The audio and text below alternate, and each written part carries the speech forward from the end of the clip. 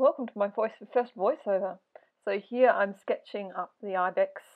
Uh, the book in the top corner is Terry Whitlatch's uh, Creatures Real and Imagined, which I'm using for reference for um, the skeletal structure. I'm actually looking at a picture of a canoe and how the, the bone structure is actually underneath the cloth, cloth of the skin to build up the underlying structure of the ibex.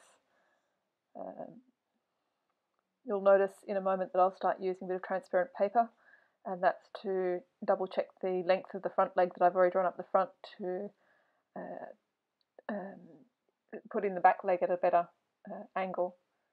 So here I'm just building up the, the rib cage, throwing in a couple of springs, a little bit of ornamentation, some curlicues, which as I was putting them in, I realised that there's some historical bronzes of, I think it's a stag that has something similar to that with the antlers curling down the back, which probably unconsciously fed in there. Um, horns. Uh, one of the reasons I decided to do the ibex was for those fabulous, great big curving horns. And you'll notice I do have a tendency, there's the, the transparent paper. Uh, drafting film actually, it's a, a heavier duty than uh, tracing paper actually is and means you can erase it and reuse it multiple times over. I do like my tassels.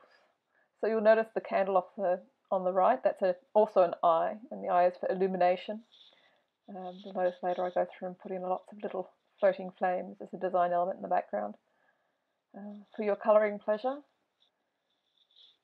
Uh, so the pens I'm using here are my brand new Staedtlers that are replacing the last lot of well, Staedtlers also that I had that I basically drained dry doing the last um, last picture, which was the November uh, calendar page, which had a lady in a kimono looking at a frog the curlicues in on the the shoulder blade of the ibex there were when even when you get to see the the colouring page there are a curlicue kind of based on the shape of ink droplets being spilled into water. Not quite as symmetrical as um, the actual ones are. But here I'm putting in the, the second hind leg trying to figure out a placement of the hip in behind everything else which you'll notice I haven't actually finished doing. I got distracted by the horns got the horns done and then went back and reworked the, um, the placement of that hind leg. You'll see the, the tracing paper coming into play again in a moment as I just adjust and readjust the placement of the hip slightly. Great stuff tracing paper. You'll see on there the remnants of the, well, there was the remnants of the bird on the screwdriver from my last video thing. And that piece of paper I've been reusing since mid 2015 for small details. So it's a good size.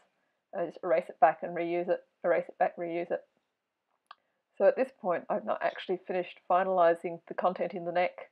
Still thinking about that. I leave that to ferment and I go in and put in additional little details, erase off the um, a lot of the spare pencil that isn't necessary. I try to give at least five ten minutes for each of the ink lines to dry in an area before I do any erasing because I've found that the um, the ink will lift off and go grey rather than stay black if it's erased too soon. It's really better to leave it for 24 hours, but um, an impatient creature. It's nice to be able to see something completed.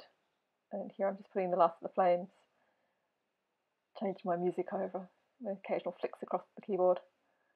The songs that don't interest me quite as much as they possibly ah, eh, should or could.